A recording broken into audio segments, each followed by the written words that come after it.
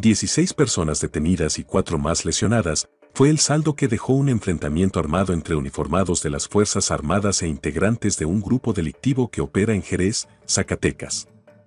La Secretaría de la Defensa Nacional informó en un comunicado que el personal de la Guardia Nacional y del Ejército Mexicano fueron agredidos con armas de fuego por presuntos integrantes de la delincuencia organizada, cuando llegaron a un domicilio en el que una denuncia ciudadana advertía sobre la presencia de hombres armados en las inmediaciones.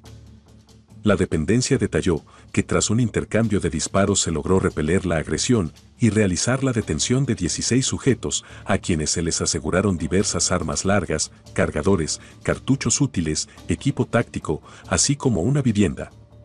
Derivado de este enfrentamiento, se desplegó un fuerte dispositivo de seguridad que permitió a la Guardia Nacional realizar la detención de 16 individuos, de los cuales cuatro de ellos resultaron lesionados en la refriega.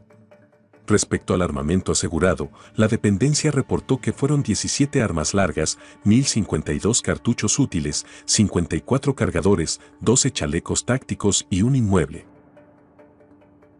Cabe mencionar que los sujetos que resultaron lesionados se les brindaron los primeros auxilios, siendo trasladados al Hospital General Jerez en calidad de detenidos, mientras que el resto de las personas detenidas, así como todo lo asegurado, fueron puestos a disposición de las autoridades competentes.